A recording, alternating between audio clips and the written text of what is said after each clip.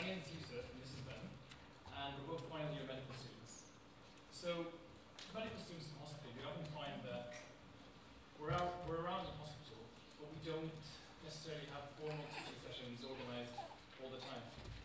So, this sometimes leaves us with a lot of spare time, and it's difficult to find out who we can approach, where we can go, when we can go, to find things to do, to make, to make the best use so, myself and Ben have come up with Medboard, which is a database, a real-time database, which aims to connect healthcare professionals who are happy to teach medical students to students who actually want to learn.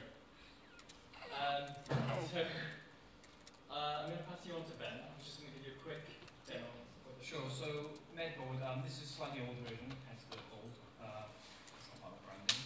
Um, so on the front page, we've just got sort of theatres, clinics, teacher sessions, and clinical skills set up. So a student can go and click on one of those. So for example, if they click on theatres, they'll be able to see what kind of operations going on in theatre. Don't have a projector view.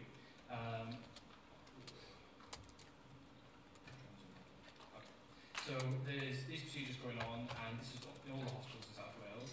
Um, so, for example, if you go to just the Princess of Wales Hospital, uh, it's limited to those, and then students can see this procedure's going on, they know where it's going on, and they can sign up to, to go along as well.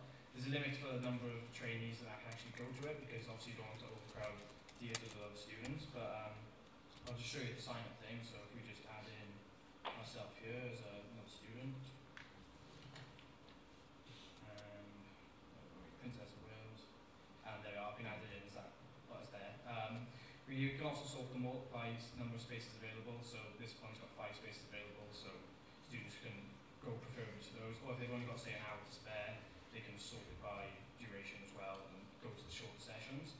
Um, I'm currently signed in as John, Mr. Big John is the consultant, so he's able to add new sessions himself by just filling in the box and then that becomes available for him to use. 30 seconds Um, left. And if you just log out, then uh, John's not able, well, average student's not able to use um, the new sessions page. But that's all sessions. Um, so this is what that's what's available. Students can sign up. If something's full, then they know they can't go to it. And um, yeah, that's pretty much it.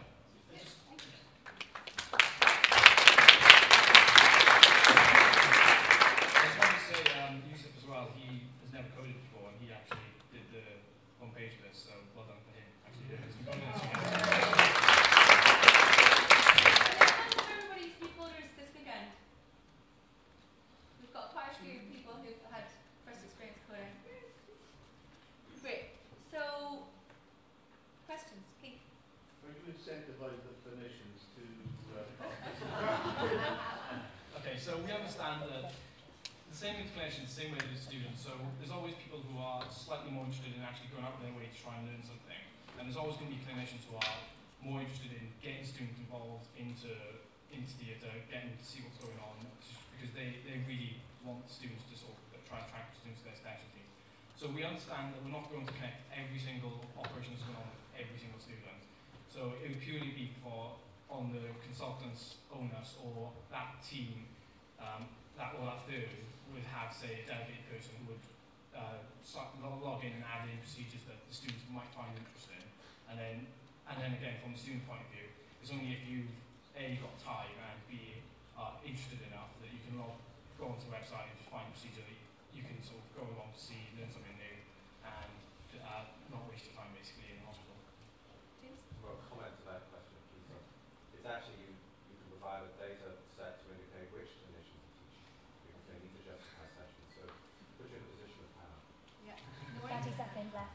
So, at the moment, there's no way to find out this information, like as a student, you don't know. It's very, it's very, very difficult. You go to undergrad and they say, well, we can ask this That's person, admin ask that person, um, phone this secretary up, but it's, it's, it's not available uh, at the time you're looking Um, I, Keith? I was going to say, I mean, I I don't work in hospital a GP, but if I was, I'd imagine it as a fact, if I was surgeon to do this, how much of this can be automated, as in can be taken from existing digital theatre lists or a sort of template for clinic attendance, that kind of thing. Yeah, definitely. I mean, the, the difficulty with that is sort of pulling data from theatre lists. So that's sort of, uh, they use the theatre magazine or something, for example, so trying to get access to that Yeah. data is pretty, pretty complicated. But yeah, um, that's presumably a way to do it. But again, what we end up with is pulling a huge amount of theatre theatre operations going on that s- consultants who are in those theatres might not want students around or they might have too many trainees already. So that so we wanted to create something that is unique to just what's going on